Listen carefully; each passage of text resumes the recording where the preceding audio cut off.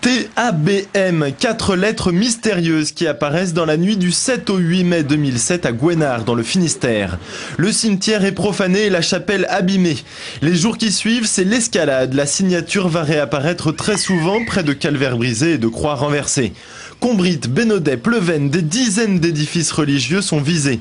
Jusqu'à la nuit du 15 au 16 juin, où c'est la chapelle de Loquefret qui est purement et simplement incendiée.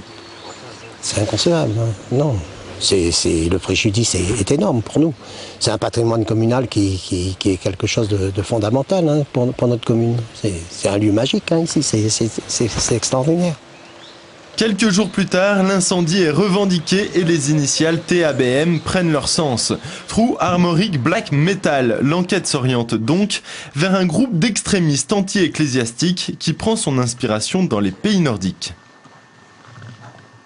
ça émane de certains groupes euh, euh, de ces régions nordiques qui estiment, qui considèrent que le christianisme a, éradiqué ou a supplanté la religion de leurs ancêtres. Euh, et donc